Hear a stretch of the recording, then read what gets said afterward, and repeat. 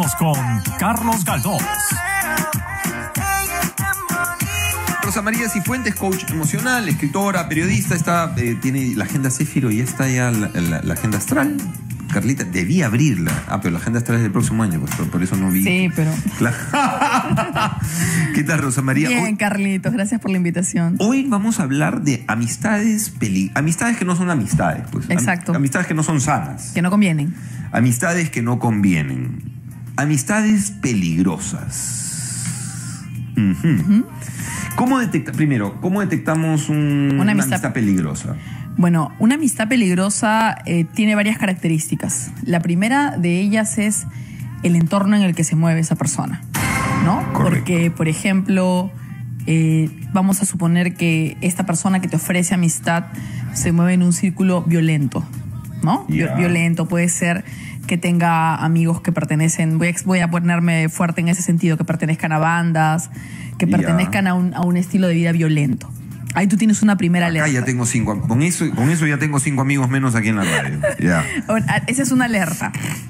Eh, en segundo lugar, también si esta persona tiene malos hábitos de vida, ¿no? O sea, ¿en qué sentido? No en el sentido de que tú respetas a tus amigos y tú los quieres, pero estamos hablando de hábitos en el sentido de que no respetan tus decisiones y son esos amigos que te dicen, si tú no bebes, eh, eres un bebé o eres un infante. o- exacto, Claro. de, de- de esos adjetivos calificativos. Claro. Otro tipo de amistades que son bastante peligrosas son Jimmy aquellas... no es muy bueno. ¿Cómo vas a, cómo vas a soltar la, la- la- la- la bot- el destapador cuando está hablando de eso tan serio, Jimmy? Bueno, otro amigo, hay otro amigo peligroso negativa, sí. que te pide favores incorrectos, ¿no? Ah, eso, oye, Eso- llama, ve, claro. Oye, por ejemplo, Cúbreme por aquí, eso sí. Oye, anda ve y haz este, anda a tal oficina a hacer un espionaje. No, no, eso me parece fatal. Ya, no o, o, por ejemplo, anda averigua la vida de tal, o anda róbate tal cosa de tal lugar. Sí, sí, sí. no, no. O, Eh, o por último, cúbreme en tal mentira. Sí, o por ejemplo, antes se daba mucho en algunos exámenes de universidad. ¿Te acuerdas que habían hermanos que eran gemelos y daban examen uno por el otro? Seguro, Daban examen. Exacto, suplantación. Entonces, eh, uno puede respetar a sus amigos, pero un buen amigo va a ayudarte a ser una mejor persona. Nosotros nos Seguro. queremos con sus defectos, con sus virtudes, pero el problema está en que ahora todo el mundo tiene amigos al paso por Instagram, por Tinder. A cualquier persona le llaman amigo y además lo meten a su casa lo meten a su casa y yo siempre he dicho que la casa es un templo que es sagrado, pero ahora las cosas han cambiado y las chicas y los chicos no toman medidas de seguridad. Y hay otro detalle importante, un buen amigo realmente desea verte crecer, no es, envi- no es envidioso. envidioso. No es envidioso. Un mal amigo es envidioso, pero envidioso es el mediocre. El mediocre que no sabe crecer, que no sabe utilizar Correcto. sus talentos. Ahora, la pregunta que todo el mundo me hace, Rosa María, ¿qué hago cuando yo detecto un mal amigo? Yo siempre he dicho que sigas caminando y que dejes que el tiempo pase y esa persona se va quedando atrás. Y a veces te van a tildar de, de- de- de que hay que tener compasión. La compasión no tiene que ver con valores, porque los valores no son negociables.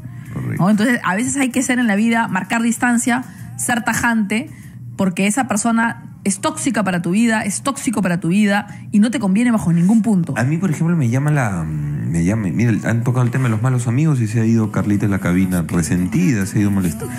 este, a mí me llama la. Me parece, por ejemplo, esta, una amistad tóxica.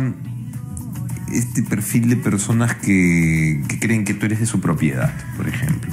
Y que, y que te dicen. Y que te comienzan a fiscalizar. Sí, sí, ¿Qué sí, pasa, no? Que son amigos posesivos. Eh, amigos posesivos. posesivos. Amigos posesivos. que quieren este que tú prácticamente quieren apropiarse de tu vida o estar pendiente en todo o te van a decir a quién invitas a tu cumpleaños a quién no lo ¿O invitas por con qué, eres- quién con- por sales qué con quién no conversas con esta persona si no es mi amigo? Bueno, será tu amigo, pero no es mi problema. ¿no? Exacto. Y son personas que te están, que no tienen un mundo propio, porque no se han hecho una vida propia y están intentando vivir su vida a través de la tuya. Claro. Entonces, eh, otro, otro, otro aspecto importante. Generalmente, cuando alguien tiene malos amigos, es muy susceptible de ser manipulado. ¿no? Las personas manipulables eh, eligen líderes negativos o positivos, en este caso serían negativos, para sentirse parte de un grupo, parte de. Así empezaron los pandilleros, ¿te acuerdas? Que eran estos chiquillos que de repente vivían en una zona popular, pero como no tenían mucha educación o los papás no los podían educar en una, en una educación superior, se hacían amigos del delincuente de una cuadra y pertenecían a una banda y Mm. se sentían el protector de la cuadra, ¿no? Entonces eran guiados por un líder incorrecto. Entonces ese no es un buen amigo, ese es un ser un seguidor de un delincuente.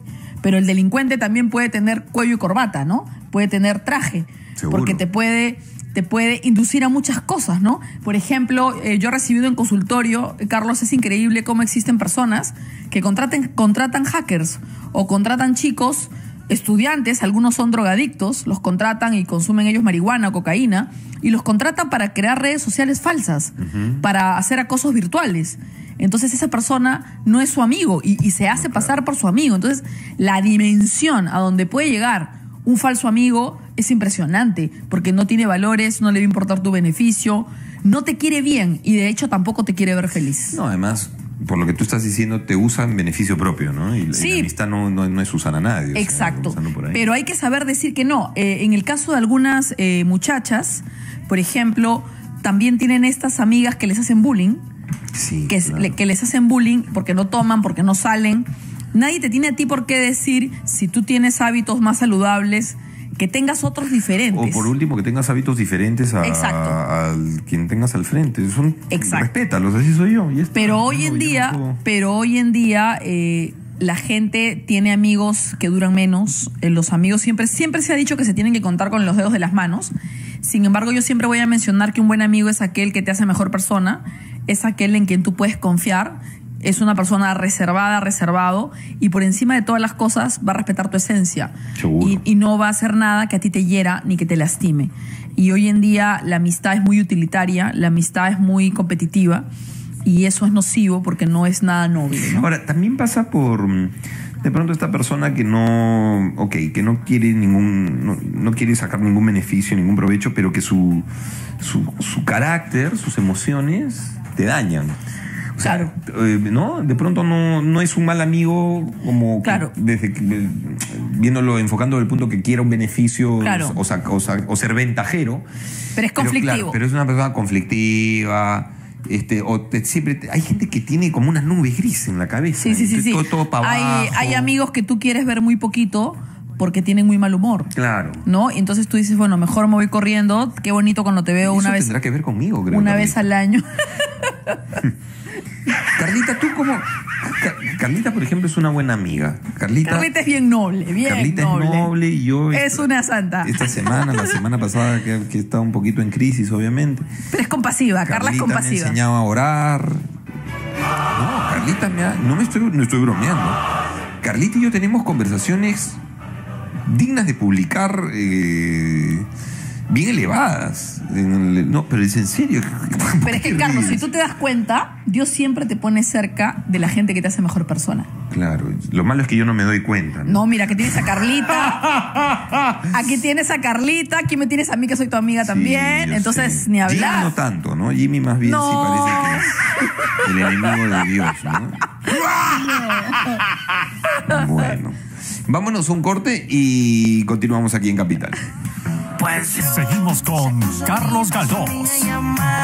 7 de la noche con 31 minutos. Estoy con Rosa María Cifuentes y nos está hablando de cómo detectar amistades peligrosas. Ahora, ¿cómo, ¿cómo detectar amistades peligrosas? Y yo te preguntaría, ¿cómo zafamos de una amistad peligrosa? Eh, ¿cómo, zaf- cómo zafas? La- primero que nada, que en este, en este mundo moderno uno anda muy ocupado. Entonces, cuando uno está ocupado, tiene el tiempo reservado, ¿no? Claro. Entonces, simplemente vas aplazando y la persona No se va. choteas, dices. Sí, sí, cl- claramente sí, pero llega un momento en que te lo preguntan, ¿ah?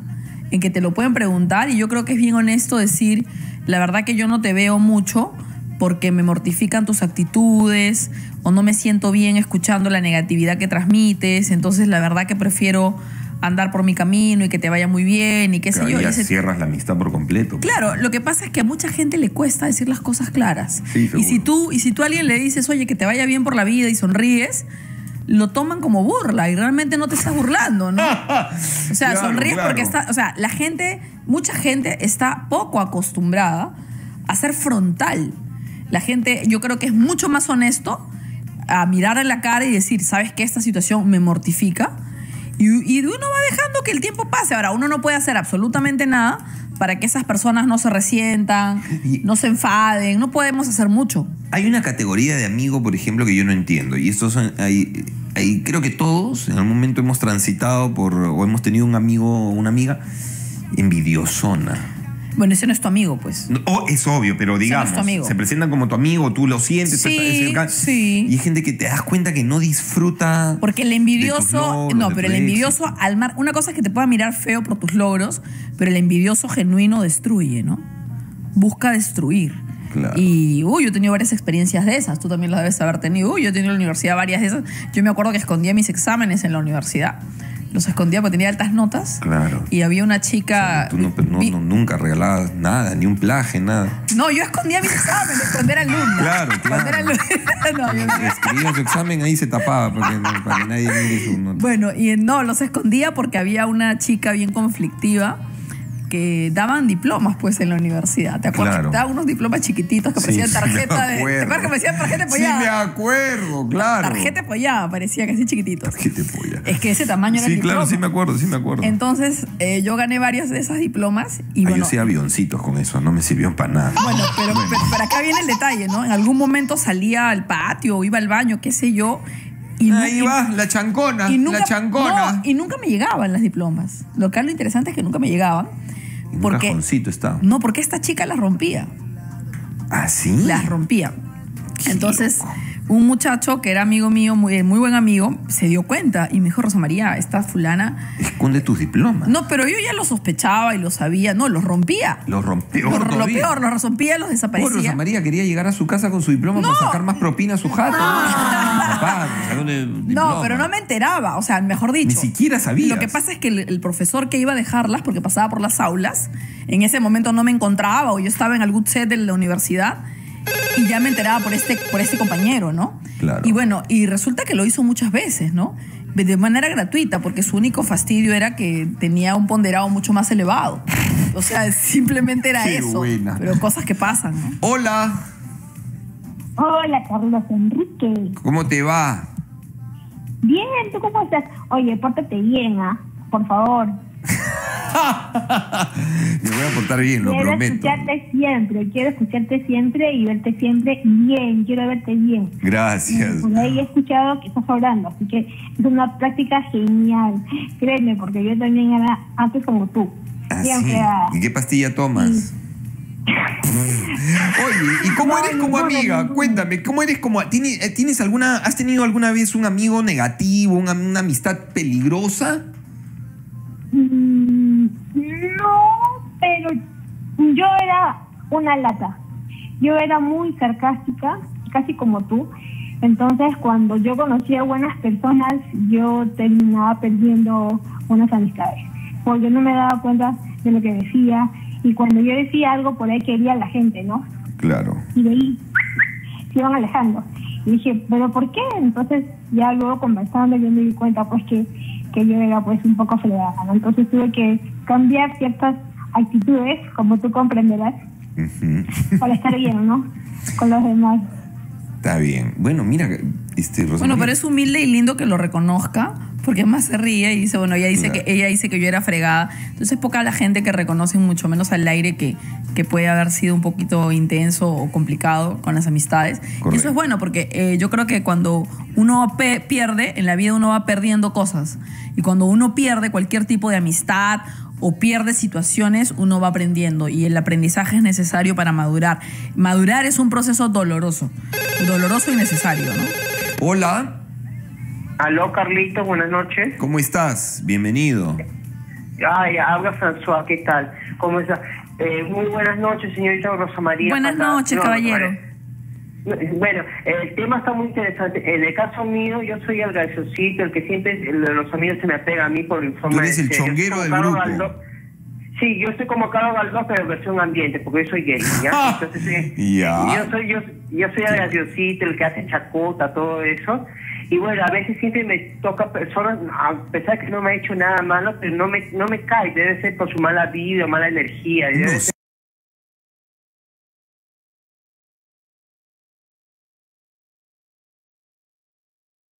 no Siente la no me mala vibra. nada ¿ah? malo, Uno pero, pero me siente la mala sucede eso con algunas personas.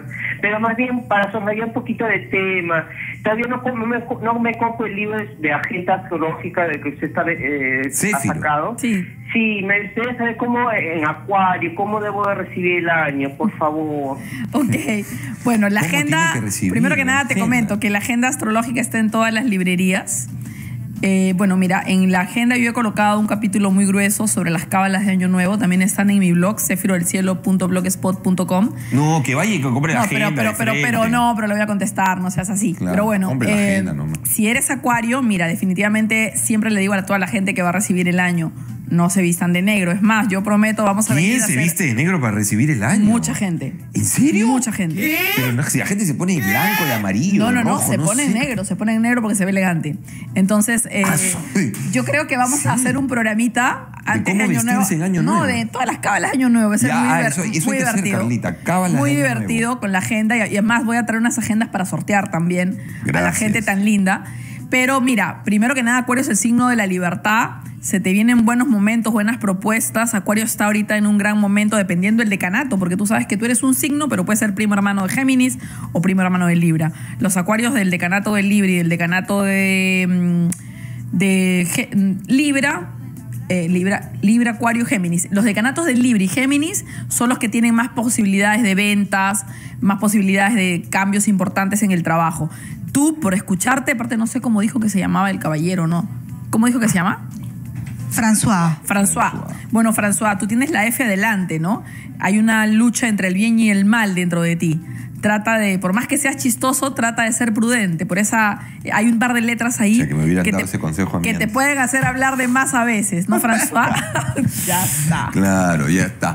Bueno, Rosa María, muchísimas. Hay una llamada más. Hola. Buenas noches. ¿Cómo te va? ¿Cómo estás, Carlos? Buenas noches. Buenas noches. Eh, señora Buenas noches. María, ¿cómo está? Buenas noches. Quería, eh, eh, bueno, a usted le tendría que preguntar miles de cosas, pero yo eh, quisiera saber su opinión.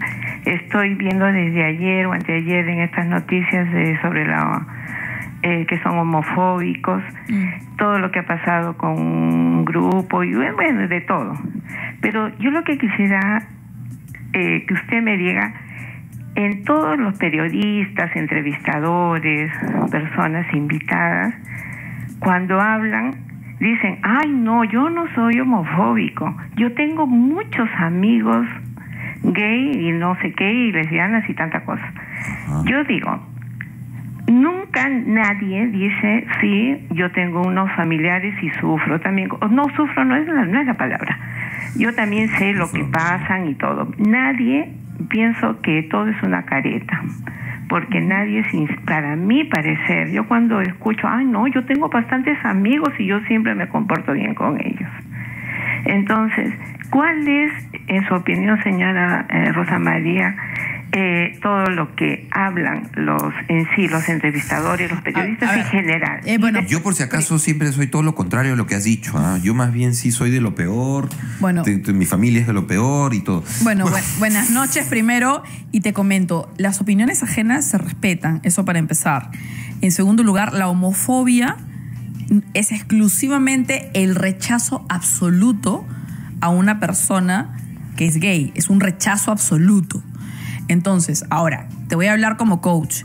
En mi consultorio yo recibo chicos gays, lesbianas y recibo a sus familiares también. Entonces, lo que te puedo contar es que dentro de las familias hay muchas madres, por ejemplo, que me visitan, que son mamás de lesbianas, y las señoras llevan terapia para, para poder llevarse mejor con sus hijas, no maltratarlas, entenderlas y aceptarlas y llegar a una cordialidad y una negociación. Pero no te voy a negar que esas señoras no sufren, que esas señoras hubiesen querido que sus hijas fueran heterosexuales, pero eso parte del sentimiento de la madre. Ahora, en cuanto a lo que digan los especialistas, como te digo, eh, definitivamente cada quien sabe. Una cosa es que tú veas a una persona gay, pero el homofóbico insulta, maltrata, denigra, no se tomaría ni un café con un gay. Eso es ser homofóbico. Entonces hay que tener en cuenta los conceptos. Lo que hay es tolerancia. Ahora, cuando le toca a un hombre, por ejemplo, es muy curioso algo que te voy a contar, Carlos, astralmente, ¿no? Me, llama mucho la atención porque yo siempre hago investigaciones. Mm, He encontrado, por ejemplo, que de 10 militares, estamos hablando de estudios estadísticos, de 10 he encontrado que 6 tienen un hijo gay. Pero acá hay otro detalle interesante. Encontré que muchos eran muy toscos en el tono, forma y manera con sus hijos. Cuando hacía las, las- cartas astrales y me quedaba sorprendida porque las iba cuantificando, me llamaba muchísimo la atención ese tema. Por ejemplo, es una gran interrogante que tengo en la cabeza como especialista. Qué curioso, digo yo, ¿no? Eh, tanto maltrataron al hijo, le exigieron así, fue un tono rígido, esos chicos se volvieron fóbicos incluso. Entonces, no se sabe exactamente a qué se debe, pero, porque hay una serie de explicaciones para las elecciones sexuales, pero vuelvo a repetir, yo no puedo eh, criticar a quien opine lo que desee sobre un gay o no, y la homofobia es otra cosa, porque la homofobia es un ataque. Es un ataque, es una invasión, es una falta de respeto al espacio y al, modo de ser de las personas, y eso no es correcto. Bueno, Rosa María, muchísimas gracias. Gracias. Y quiero hacer una invitación al público, ya que me hablaron de la agenda. Este 7 de diciembre termino mi tour de firma de autógrafos de Agenda Astral. Voy a dar una charla chiquita. Sí, en- es el viernes. Este viernes 7 la voy a dar en la librería de Crisol de Lóbalo Gutiérrez. A las 7 de la noche voy a firmar agendas, libros, voy a dar tips de año nuevo. Así que corran la voz. Y bueno, ya los libros están en todas las librerías y bueno, y preparo material pronto también. Son las 7 y 45 aquí en Capital. Vamos a cerrar el programa con Kevin Ah, Johansen. Nada más y nada menos que Kevin Johansen. Ya está acá eh, Ya volvemos. esperándonos. Sale en breve.